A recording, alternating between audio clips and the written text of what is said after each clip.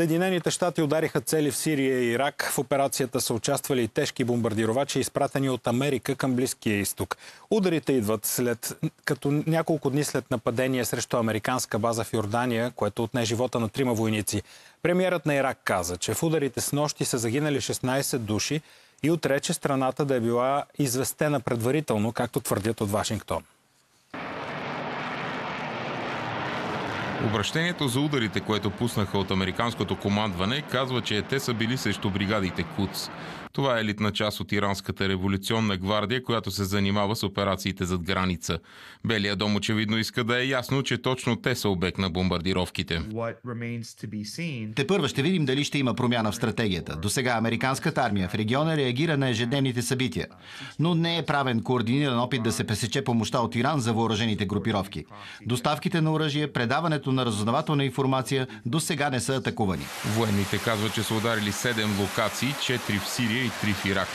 Според Съединените щати това са контролни центрове, складове за оръжие и провизии и важна инфраструктура. Удари като тези са дълго практикувана тактика, когато американските войници са ранени и особено убити. Интересното сега е, че е директно декларирана. Президентът Байден казва, ако ни ударите, ще ви преследваме. Един вид публично обявена червена линия. Още преди да са нанесени удари, Иран се закани, че ще отговори решително на всяка атака на американците срещу тях.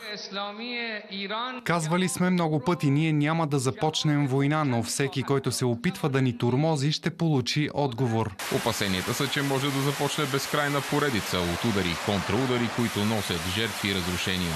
Иран и техните подизпълнители се опитват да напрегнат атмосферата в региона, но без да вкарват Съединените щати и Израел в ситуация, в която да трябва да вземат радикално решение. В този смисъл ударът по базата в Йордания от страна на Катип Хизбола вероятно е повече, отколкото биха искали. С нощната операция е далеч от възможно най-голямата ескалация. Не бяха нанесени удари на територията на Иран, например. Все пак Вашингтон нарече с нощните бомбардировки началото на отговора и каза, че ударите ще продължат, когато и където Съединените щати преценят.